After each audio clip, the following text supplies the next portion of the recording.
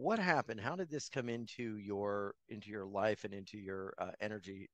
Sure. Yeah, I did a lot of different heal- healing modalities, of course. Um, did dowsing like we're going to do today, played with the pendulums, that sort of thing. Reiki, of course, uh, theta healing, reconnective healing, matrix energetics, Yuen method, access consciousness guys, um, you know, hanging out with the monks for too long, uh, you name it. I did it all. So, and I had a really good healing practice. I helped a lot of folks with different modalities and things, but then what really happened was I got very sick in South Florida and they took out my gallbladder, but they about killed me. They gave me too much anesthesia.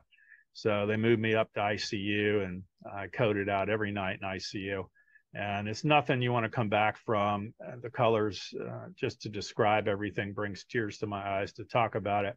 I experienced uh, more vivid colors than I've ever seen here